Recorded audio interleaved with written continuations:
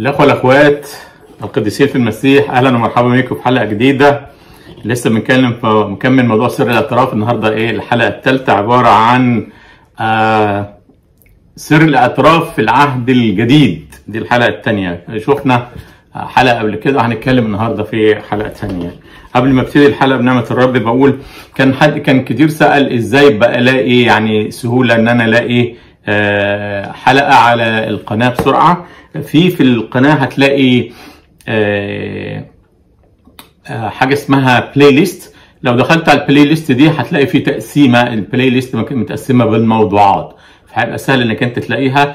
علما بإن بعض الحلقات أحيانا بتكون تقع تحت أكتر من مجموعة فبرضه ده هيسهل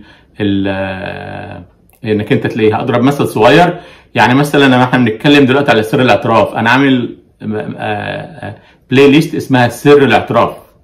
هتلاقي الحلقات بتاع سر الاعتراف موجودة تحت سر الاعتراف أو هتلاقيها برضو تحت ال playlist بتاعت إيه؟ لما بقول آه طقوس وعقائد لأنها تخش تحت العقائد أيضا. ماشي كده؟ خش على النقطة اللي بعدها. آه آه بعض الناس تقعد يقول لك الإدانة ومش الإدانة. هم طبعا غلابة مش عارفين إيه معنى الدينونة والإدانة يعني. لكن على كل حال آه عايز أقول حاجة سريعة كده. قالها واحد اسمه R.C. Sproul ده راجل محترم قوي يعني. هو تنيح من حوالي سنتين راح للمجد من حوالي سنتين. شخصية لطيفة قوي. المهم يعني قال حاجة جميلة. قال إن الله فعلا على موضوع الادانه ده يعني إن الله فعلا بيكره الخطية ويحب الخاطئ. جميل. ولكنه الحقيقة اللي هيروح جهنم مش الخطية لا هيروح جهنم الخاطئ. فلازم إنك أنت توعيه لازم تبقى فاهم كده. ربنا آه بيحبه لكن إذا ما تابش يعني سوري مصيره يعني في البحيرة متقدة بالنار والكبريت. في مقولة تانية يقول لك نحن لا نهاجم شخصا ولكن نهاجم فكرا. دي مقولة لا معنى لها على الإطلاق وأطلقها برضو معلم الأجيال معرفش واخدها من حد تاني ولا لأ. كان يقولها كتير قوي لما يجي ينتقد يعني من كانوا يعارضونه أو يخالفونه في الفكر. لكن الحقيقة أنت ما تقدرش تفصل ما بين الشخص وما بين الفكر اللي هو نابع من عقل الشخص أو على الأقل بيتبناه يعني حتى لو مش نابع مش نابع منه. فما تقولش دينونة مش دينونة لأن ينبغي أن يقال على النور نور وعلى الظلام ظلام علشان توعية الناس. لكن لما تغلفها أو زي ما أختي قالت تعليق في الحلقة اللي عن الحلقة اللي فاتت يعني لازم تسمع الأمور بمسمياتها الصحيحة عشان الناس تبقى واعية. لكن لما بتغلفها ممكن الحقيقة يضلوا أو يعني يتوهوا عن المعنى بالظبط كده. كنت عايز أقول حاجة أخيرة. ضحايا الدين. أكثر من ضحايا الإدمان بكل أنواعه يعني عايز أقول ضحايا الدين شيطان الدين ورباط الدين لما. ما تشوفهم لو شوف بقى ضحايا الإدمان بكل أنواعه أدمان الكحول والمخدرات وال لا مؤاخذة والأمور اللا أخلاقية لو جمعت دول على بعض هتلاقي ضحايا الدين أكتر ودماغتهم أصعب. واخراج شيطان من جسد شخص حقيقي أسهل بكثير جدا من إنك أنت تطلع الشيطان بتاع الدين من دماغ واحد. يقعد يقول لك أنا خدت كده طلعت كده هو كده إحنا أجدع. فئه من الناس. نكمل معلش. بس كان في حبة حاجات لازم ألحقها يعني. المهم نكمل النهارده. أنا قبل ما أخش في موضوع النهارده في صلبه وفي حتة. قلتها المره اللي فاتت وعديت عليها بسرعة يعني قلتها بس عايز أحب أعلق عليها أكتر. فوضع الله اناسا في الكنيسة اولا رسلا ثانيا أنبياء ثالثا معلمين ثم قوات وبعد ذلك مواهب شفاء أعوان تدابير أنواع ألسنة. وبرده في موجود في أف... دي موجودة في كرونسوس الأولى 12 في أفسس 4 برده مكتوب وهو أعطى البعض أن يكونوا رسلا والبعض أنبياء والبعض مبشرين ومعلمين والبعض رعاه يعني فقلت في الحلقة اللي. اللي سابقة ما فيش في القائمة كلمة كهنة. فجاء بقى كاتب الكتاب بتاع اسمه إيه ده سنوات مع إيميلات الناس في في موضوع سر الاعتراف اللي إحنا ماسكينه دلوقتي. بيقول لك بقى إن الكهنة هم خلفاء الرسل ها؟ طيب لو افترضنا طبعا ده غلط تماما ده تدليس يعني عشان تبقى من الآخر كده. لو قلنا كده مثلا طيب ومن هم خلفاء هتقول طب المعلمين فضلوا زي ما هم طب ليه ما لهمش خلفاء ما هو بيقول لك رسلا ثانيا أنبياء وقبل ما أعدي على معلمين طب فين الأنبياء. إخوة طب وما لهمش خلفاء ليه؟ لأن الكنيسة القبطيه الأرثوذكسية لا تؤمن في العهد الجديد إن في أنبياء مع إن في سفر الأعمال كان في أنبياء. تلاقي في أعمال 13 يقول لك كان في في كنيسة أنطاكيا أنبياء وفي لبس المبشر تلاقي كان عنده برضو أربع بنات عذراء كنا يتنبأنا. وفي واحد اسمه أغابوس اللي أخذ منطقة بولس وربط إيديه نفسه ورجليه وقال هكذا يقول الروح القدس ها؟ عن الشخص الذي له هذه المنطقة سيربطه اليهود هكذا في أورشليم. ففي نبو في أنبياء في, لغاية النهارده طبعا مش بيتنبأوا على أحداث هتحصل خاصة بالمجيء الثاني مثلا الموضوع خلصان يعني أو ده يعني تكفل بيه لغاية سفر الرؤيا. لكن ممكن بيتنبأوا على أشخاص أو على أحداث هتحصل. المهم عايز أقول في الحتة دي. هم بيقولوا ما فيش أنبياء. طب من خلفائهم؟ ولا راحوا وما رجعوش؟ ما لهمش خلفاء. طب اشمعنى بقى الرسل لهم خلفاء؟ أنا عايز بس أفند لك الكذبة. ماشي كده؟ طب لو دول خلفاء طب فين خلفاء أصحاب القوات؟ مفيش خلفاء. فين أصحاب المواهب؟ مفيش أصحاب مواهب. فالقصة كلها كذب ده اللي أنا غرضي أوعيه لك. وبالتالي عايز أقول لك بقى حاجة كده جميلة. اللي يكذب عليك في الإنجيل قول له اذهب عني يا شيطان لأنك لا تهتم فيما لله لكن إيه فيما للناس. في حلقة بإذن الله هنعملها عن سلطان الحل والربط لوحدها كده. يعني عشان في كذا رأي فيها وأنا نزلت بوست على الفيسبوك لكن عايز أعملها حلقة تبقى سهلة. شوف بقى مين من الآباء الأولين قال الكلام دوت. الحاجة الثانية اللي عايز أقول الحتة دي آه يبقى إحنا كده خلصنا حكاية إيه؟ ال ال الكهنه هم خلفاء الرسل؟ كلام كذب. لو كهنه خلفاء الرسل كان يبقى ينبغي أن يكون خلفاء أيضا للأنبياء وخلفاء لاصحاب القوات والمواهب. لكن ما فيش فلو يقول لك دي كانت خاصة بزمن الرسل إذا أيضا الرسل خاص بزمن الرسل. ماشي كده؟ خدت وقت كتير أنا. نخش على بقى موضوع إيه؟ آه تفسير مفاتيح ملكوت السماوات. ماشي كده؟ طيب نقرأ الأول مع بعض آه مع بعض الحتة دي على ال على ال على الشاشة. سر الاعتراف في العهد الجديد يقول لك تسليم سلطان الحل والمغفرة للتلاميذ والرب جلي وواضح في العهد الجديد وقال رب لبطرس ويقول لك وكرر الرب هذا الوعد للتلاميذ وراح قال متى 18 بعد قال متى 16 وكرر الرب الوعد أيضا بعد قيامته وقال ونفخ وقال لهم اقبلوا الروح القدس والحكاية ديت. الحقيقة هنا ما كررش ده هنا كذب. لأن السياق الحديث في متى 16 ومتى 18 عن حاجة ثانية خالص عن حل خلافات بين بيقول له إذا أخطأ لك أخوك إذا وعاتبك بينه وبينه. أما نفخة روح القدس فكانت خاصة بالإرسالية. وده عن كده بالتفصيل لأنهم كما ارسلنا آب أرسلكم من غفرتم لهم خطاياهم. إذا سياق الحديث هنا غير سياق الحديث هنا. الموضوع هنا غير الموضوع هنا زي ما هنشوف دلوقتي. وبالتالي لما يقول لك وكرر وكرر هو الحقيقة هو بيكذب وبيكذب. يقول لك كرر وكرر. لا حبيب قلبي ما كررش وكررش. انت اللي بتكذب وبتكذب انك بتاخد دي وتلفقها وتقلوظها على دي. ماشي كده؟ آه إيه بقى موضوع مفاتيح ملكوت السماوات اللي قاله الرب لبطرس وكان لبطرس وحده؟ موضوع مفاتيح ملكوت السماوات الحقيقة ممكن يكون فيه تفسيرين. فأنا هقول التفسير الأكثر شيوعا. آه إن اولا مش اداله المفاتيح وبقى هو ما عندوش مفاتيح أم أصبح دلوقتي كل حاجة في إيدين بطرس أو إيدين الكنيسة كما يقولوا. زي ما هنوضح في الفيديو بنعمة الرب اللي هعمله عن سلطان الحل والربط. لكن مبدئيا إيه هي مفاتيح ملكوت السماوات؟ معظم الشراح قالوا كما يلي. قالوا إن بطرس اداله مفاتيح ملكوت السماوات يعني أن يبدأ الخدمة في كل قطاعات الخدمة. إيه كانت قطاعات الخدمة؟ كما قالها الرب زمان للرسل قبل ما يحصل يعني حتى حلول الروح القدس. قال لهم تكونون اولا الكلام كان للكل يعني تكونون لي شهودا أيوه فين بقى؟ في اليهودية دي نمرة واحد. وبعدين السامره اثنين ثلاثة إلى أقصى الأرض اللي هي يعني الأمم. حلو كده؟ هنلاقي إن بطرس هو اللي فعلا ابتدى الخدمات دي. أدي معنى أعطيك مفاتيح الملكوت ملكوت السماوات كما ذكره معظم الشراح. فحصل إيه بقى؟ آه نلاقي من أول إصحاح آه يمكن واحد في سفر أعمال الرسل مين ممكن نقول المتكلم الرسمي باسم الكنيسة؟ كان بطرس الحقيقة. يعني حتى هو اللي فتى في حكاية نختار واحد يحل محل يهوذا بغض النظر دي كانت يعني صح ولا مش صح مش هو دي القضية لكن هو كان صاحب الفكرة. هنلاقي برضو وهم طالعين في يعني في إصحاح ثلاثة في إصحاح اثنين أول وعظة قالها مين؟ بطرس. مين اللي شرح إيه حلول الروح القدس اللي حاصل ده؟ بطرس.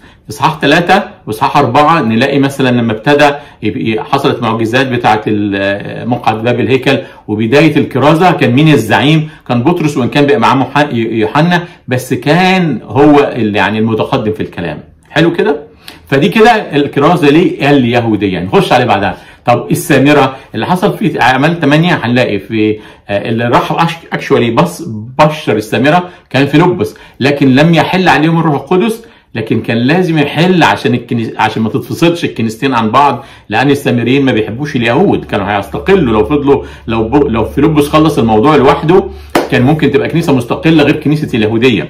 فعشان كده ربنا سمح إن ما يحلش الروح القدس على اللي في السامرة إلا لما يروح بقى إيه؟ بطرس ويوحنا. هم صلوا حل الروح القدس بقوا كنيسة واحدة. يبقى فتح الكرازة لمين هنا؟ للسامرة.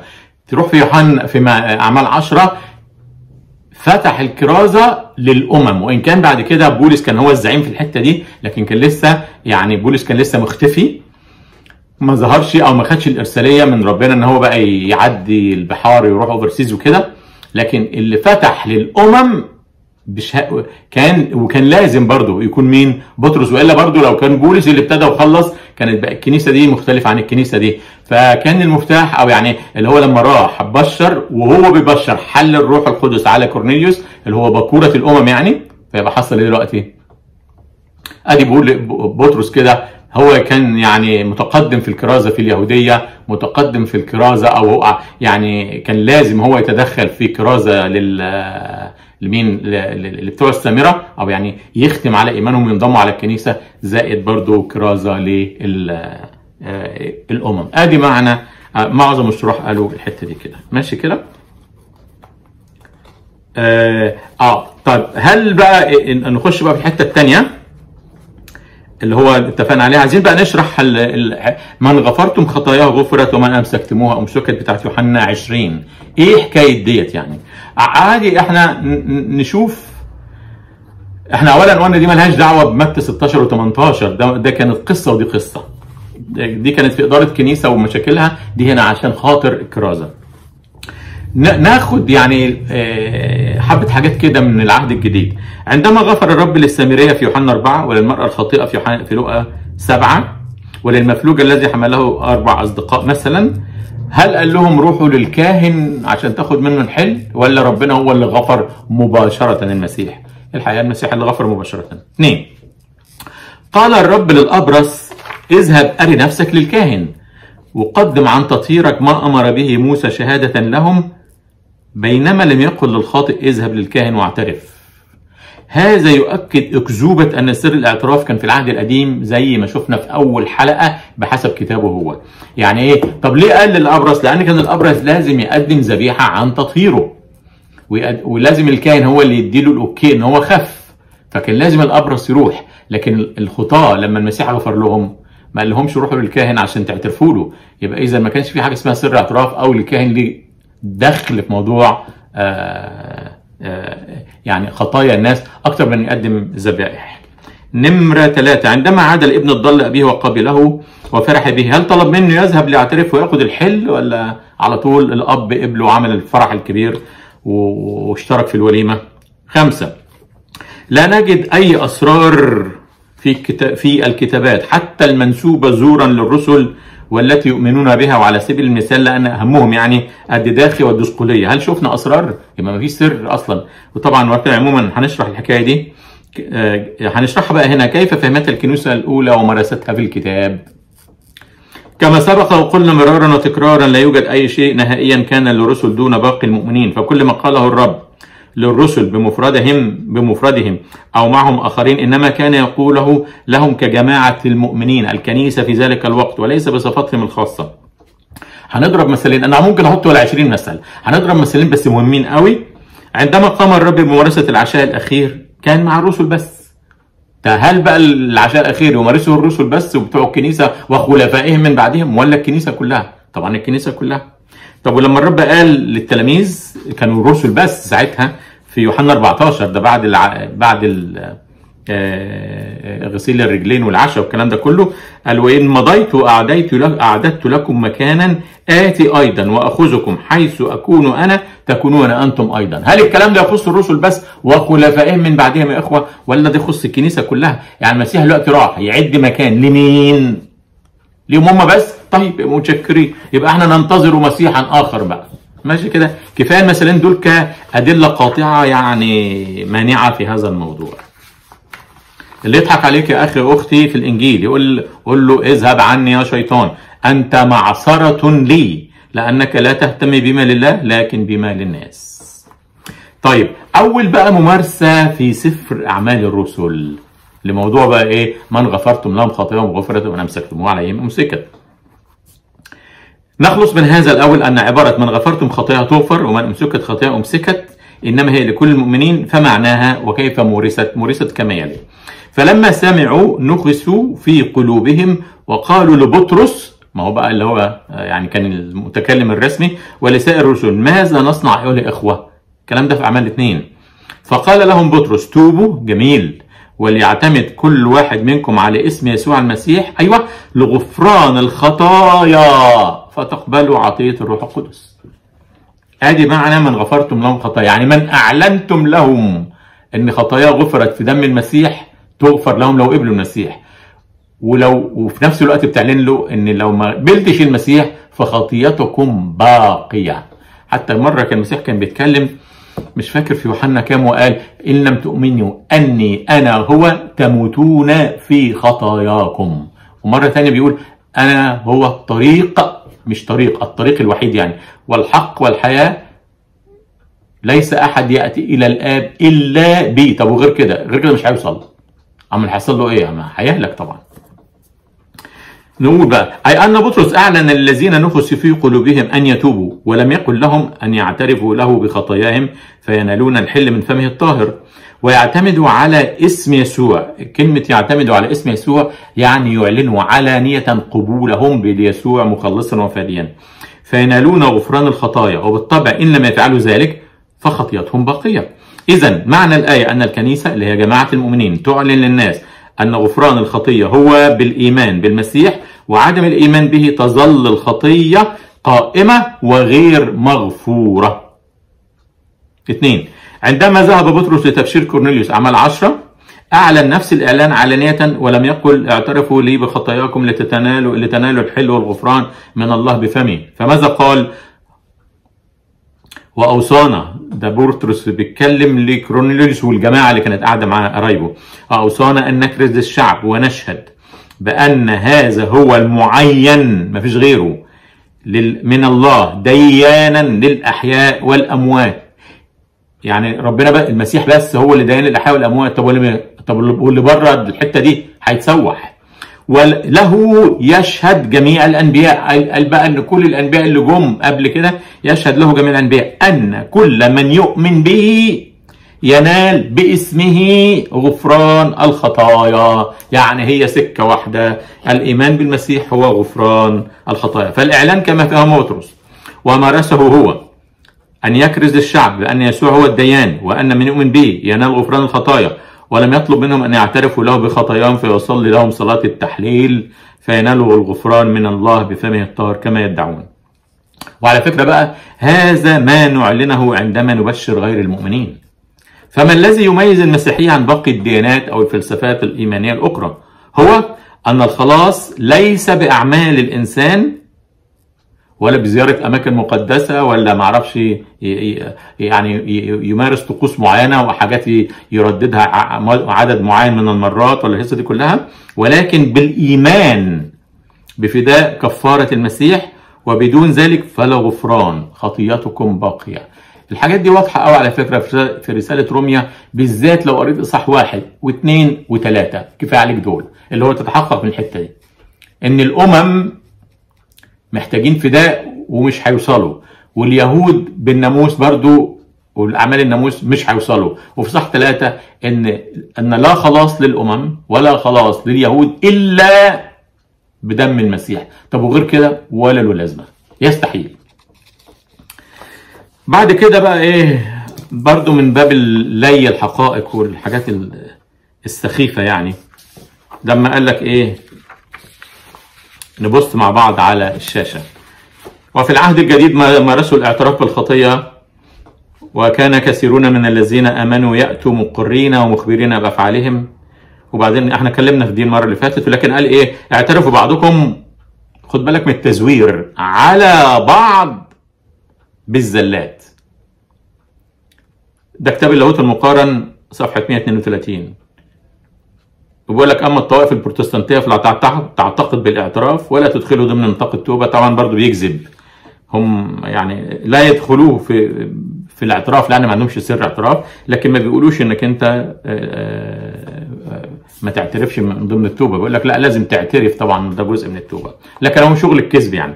أنا بس كنت عايز أقول في الأول قبل ما أخش في الشرح بتاع الآية إن هو أصلا مزور الآية في الكتاب بتاعه. هو طبعا في حتة تانية آه اعترفوا بعضكم على بعض الزلات لكن لما جه بقى يشرحها قال لك اعترفوا بعضكم على بعض. لأن يعني كنت شرحت دي قبل كده لأن هو بيقول إحنا بنعترف لله على الكاهن. ها؟ فشاف غير في الآية أهو. اقولها تاني. اللي يضحك عليك كده ويغير ويزور ده شغل الحية القديمة. تقول له اذهب عني يا شيطان أنت معصرة لي لأنك لا تهتم بما لله بل بما للناس. نشوف بقى حكاية اعترفوا بعضكم على بعض الزلات الرد.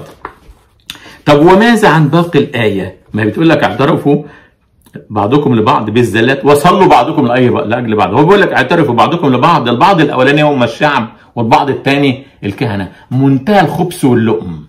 إيه اللي قال لك إن الأولانية يقصد بها الشعب والثاني الكهنة؟ ولو خدت بنفس الفكرة دي بقى خش بقى على النص الثاني الكلمتين اللي بعدهم. طب وصلوا بعضكم لأجل بعض. يعني الشعب يصلي من أجل الكهنة؟ آه يعني فيها كلام الحكاية دي. المايه ما تطلعش في العالي. يعني ما نقدرش أقول لقسيس لكاهن من بتوع البعل دول ما ينفعش ان أقول له الله يباركك ولا هو يقول له الاسقف الله يباركك ولا الاسقف يقول للبطرك الله يباركك يقول له إيه؟ لا ده أنا اللي أقول كده. في حاجات اهم من كده يعني. المهم طب وليه ما نعملهاش سر برضه يبقى سر صلاه ما أعرفش إيه. ماشي. اتنين. إحنا عرضنا سورة التزوير اوريدي ثلاثة لو الكتاب بيقول هذه هي وصيتي أن تحبوا بعضكم بعضا كما أحببتكم. يبقى الكلام ده بقى يعني الناس تحب الكهنة ما هو بعضكم بعضا دي برضو زي اعترفوا بعضكم لبعض. فالكتاب على فكرة لو عملت سيرش على كلمة بعضكم بعضا دي في الكتاب المقدس في العهد الجديد هتلاقيها تقريبا ممكن أكتر من 30 أو 40 مرة كمان. هتلاقي هيصة. فكلمة بعضكم بعضا دي موجودة كتير قوي في الكتاب فإحنا هناخد منها كام نموذج يعني. فهذه وصيتي أن تحبوا بعضكم بعضا. المسيح لما قالها يقصد يعني الشعب يحب الكهنة؟ لا طبعا. يقصد إن كلنا كجماعة مؤمنين بنحب بعضنا. طيب لما يقول سلموا بعضكم على بعض بقبلة مقدسة ودي بقى فيها قفشة هنا. هل برضو الشعب بيقول للكهنة؟ طب ما انت ما هي دي اللي ماخدين منها ال- ال- المرض اللي في المهز... ال- المسرحية الهزلية اللي بيسموها قداس لما الشموس يقول إيه؟ قبلوا بعضكم بعضا بقبلة مقدسة. عارف الطقس بيقول إيه؟ بيقول لك الشمامسة يقبلوا بعضهم بعضا. ماشي. والرجال يقبلون بعضهم بعضا ماشي. والستات يقبلون بعضهم بعضا ماشي. اسمع اللي بعدها بقى بيقول لك والكهنة يقبلون بعضهم بعضا. يعني إيه بقى؟ يعني ما ينفعش إن الشعب يروح يقبل الكهنة في القداس مع إن هم بيقولوا كده. يعني هنا بيقول لك سلموا بعضكم على بعض بقبله مقدسه كان الكنيسة ساعتها لو قلنا إن هي الشعب للكهنة في الطقس ما بينفعش. يعني الشمامسة بيقبلوا بعض ما يقبلوش الكاهن. لكن لو في كهنة بيب... يعني بي... بي- بيقبلوا بعضهم ما بيقبلوش الشمامسة. لو خدت بالك. يعني هفترض في ثلاث كهنة. في كاهن بيصلي وفي اثنين ما بيصلوش لسه يعني منتظرين بياخدوا الدور بعدين. دول يبوسوا يعني يقبلوا بعض. sorry يقبلوا بعض كده باليد. الشمامسة بيعملوا نفس الحكاية. ماشي؟ الكاهن اللي بيصلي جايز يبصوا يعملوا كده والشعب زي ما أنتم فاهمين. فإذا الك... الكلام اللي موجود في الكتاب هم مش مطبقينه صح. يبقى بيكذبوا مش كده؟ اللي بعده. بيقول لا بيقول بقى اسمع اللي جاية نمرة خمسة أو أعتقد هنكتفي بدي يعني. بيقول إيه بقى؟ لا تكذبوا بعضكم على بعض. إذ خلعتم الإنسان العتيق مع عمله كلوسي 3 9 هنا برضو بيقول لا تكذبوا بعضكم على بعض. يعني الشعب ما يكذبش على الكهنة؟ فعرض بص يا أخويا بص يا أختي الحقيقة لو أنت يعني متأسف في التع- في التعبير اللي هقوله إن الآية دي أنت نفسك مش قادر تستوعبها يبقى عندك الحقيقة مشكلة في يعني أقول إيه بس في القدرة على يعني فهم النصوص ببساطة يعني. فما ما يدهكش عليك منهم ما يدهكش عليك منهم.